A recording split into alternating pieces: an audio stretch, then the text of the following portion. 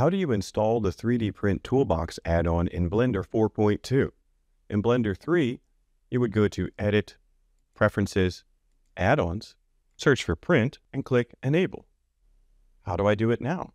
Well, there's two easy ways to add the 3D Print Toolbox add-on in Blender 4.2.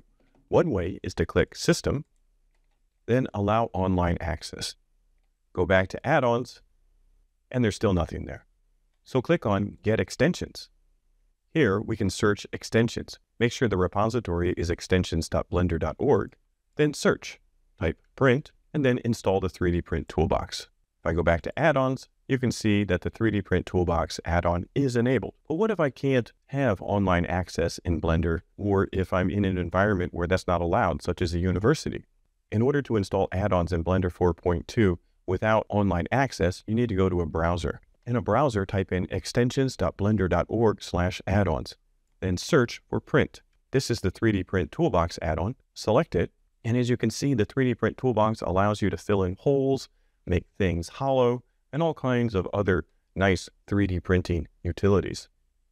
Click Get Add-on, and it has a drag and drop into Blender. But in order to do this, you need to be able to have online access enabled in Blender. So if I try to drag and drop into Blender, it's going to tell me I need to allow online access, and you may not be able to do that. So how can you install the 3D Print Toolbox without online access? If you notice, right below drag and drop into Blender, there's also download. Select download, and this will download a zip file of the add-on. Make sure that you keep it as a zip file. Some browsers such as Safari will automatically extract it. If that happens, make sure you recompress it as a zip file. Then go to Blender. In Blender, go to Edit, Preferences, Add-ons. There's no obvious way to install an add-on from disk in Blender 4.2, but if you click this little arrow, you can install from disk. Navigate to where the zip file of the add-on is, select it, and install from disk. Now under Add-ons, we can see that the 3D Print Toolbox is enabled.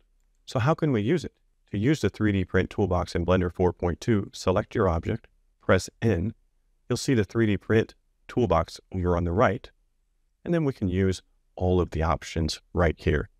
Hopefully this helps your 3D printing in Blender and installing add-ons. Happy 3D modeling!